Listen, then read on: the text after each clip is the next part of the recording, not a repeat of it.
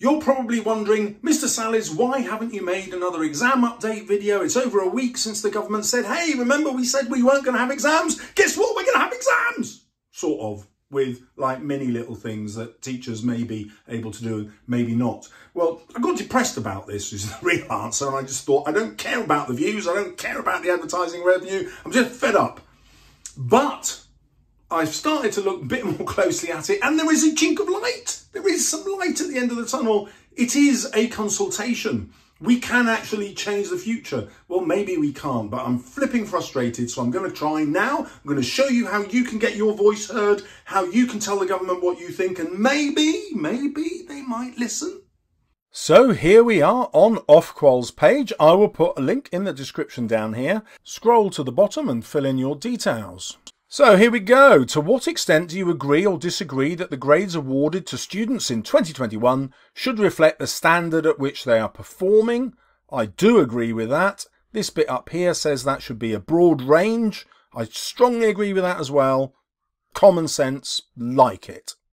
To what extent do you agree or disagree that the alternative approach to awarding grades should seek to encourage students to continue to engage with their education for the remainder of the academic year. Yeah, that's got to be good. You don't want to be starting A levels or BTECs or whatever without the right subject knowledge. So, yes, we should work to the end of the year, otherwise, education is pointless. Well, there are quite a few of these questions. Let's bash through them till we get to the exam proposal bits. I'm really against the idea of introducing extra exam papers. Like every year 11 in the country will have done mock questions, and if we introduce a narrow range of exam papers, then students of equal ability could get wildly different results based on whether they were around for studying that text or that particular topic in whatever subject. So no, I think that's too narrow a focus. I think you'll get really dodgy results that way. If you were going to have exams, then they ought to be meaningful, in which case you'd do the full papers. And then everybody would be able to be assessed on what they actually know and don't know. But this doesn't assess everybody on what they know or don't know. It just assesses people on a really narrow range. I think that's a dumb idea and will lead to inaccurate results. So I'm not going to support that at all. So no, I don't want a set of papers. Do I think it should be compulsory or optional? Yeah, we'll go with optional. If people, teachers feel the need that they want something extra, that's fine. To what extent do you agree or disagree that any papers provided by the exam boards should include questions that are of a type that's familiar?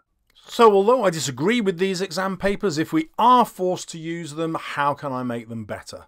You would want students to be able to answer them easily, so they've got to be familiar. To what extent do you agree or disagree that if teachers use exam board papers, they should have choice about the topics covered in the questions their students answer, for example, through choice of which papers they use for their students. I guess you've got to hope that if they impose these exam questions on us, which I feel is coming, then at least if you can choose the ones that your students know best, you're being as fair as possible to your students.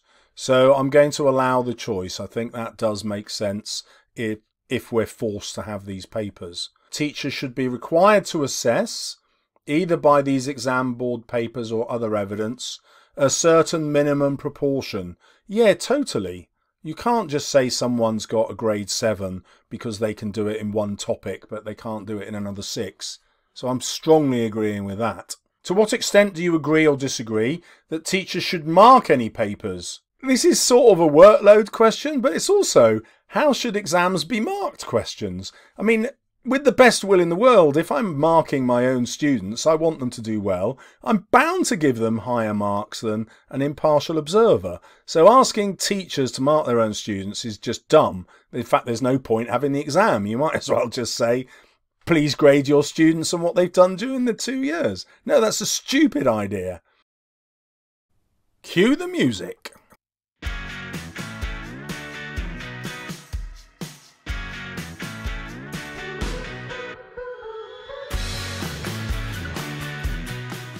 To what extent do you agree or disagree that teachers should take account of a student's performance in any non-exam assessment? Yeah, well obviously they should take account of everything the student's done. Well, fascinating though my opinions must be, who cares? You want to do this survey yourself. If you want to watch me, Let's stick it on a time lapse and cue the happy music.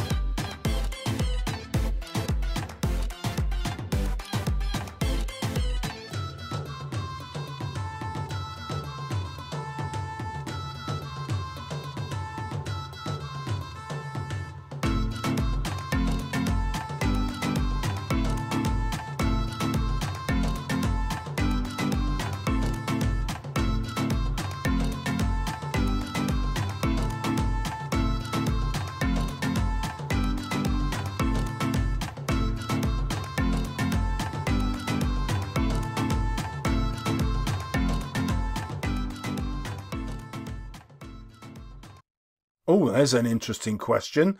If the preferred option for private candidates is an exam series, should any other students be permitted to enter and sit the full exam?